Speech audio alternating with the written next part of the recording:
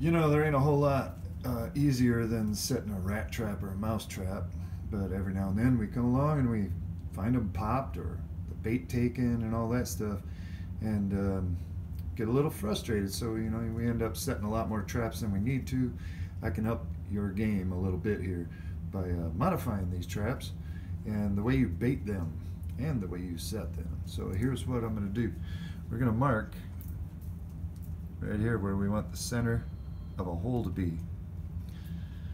And then we're going to remove this just with the pliers and then put it back on after we drill the hole.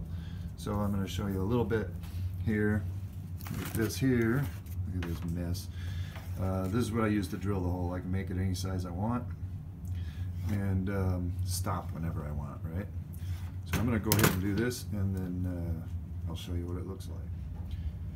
Okay, so now here we are. We got the we got the uh, trap, you know, the bait hole in there, and we're going to put this back in. Right? And we just you're gonna have to beat it down a little bit. You can't just push it down with your thumb. But anyway, you see what's going on here.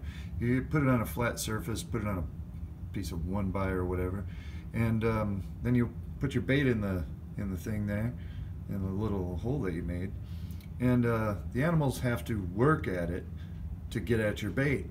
So they're gonna have to hit this eventually, and a lot of times, you know, with the bait that I make, they uh, you, can catch seven or eight flying squirrels or red squirrels, whatever, before you even have to rebait the trap, as long as it doesn't rain, because that bait will wash away in the rain.